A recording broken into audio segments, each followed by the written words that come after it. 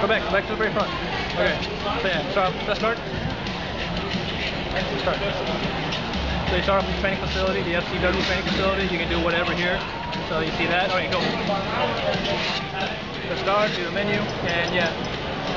So there's all your modes, options, reset, uh, finisher, lock, lock, yeah, career mode, story designer, WrestleMania, my WWE. Now we're gonna create a finisher, show that again.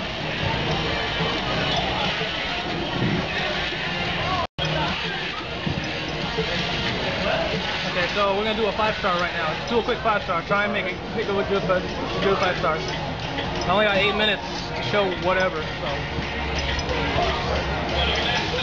I'm gonna give you two minutes to make a finisher. Yeah, 50. So you have a minute 45 to do this.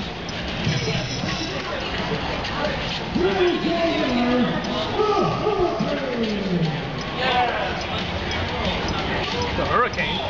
Gregor Helmsley was playing just now.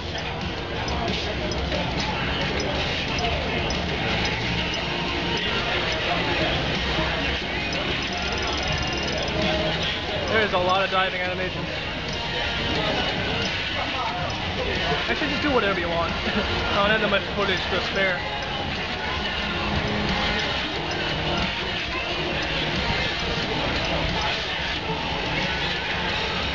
Swan. Swan dive.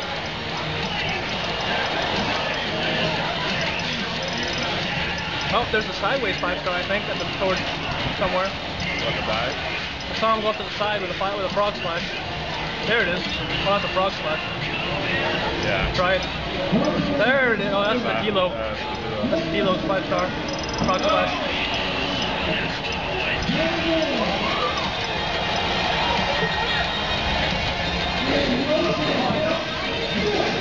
Oh, Bennett, this is what I didn't show last time. Okay, check this out. Land it. You can choose whether you want to pin or not. So this is one big issue I didn't touch on last time. Oh, there's a nice. five star without the pin. Yeah, Jim's gonna have that. check it out, guys. Check it out. Look at this. Standing. You can do a standing finisher. That's what I forgot to mention as well. 59 finishers. Basically, the point is, you can choose whether to get a pinning finish. You can just roll off of them.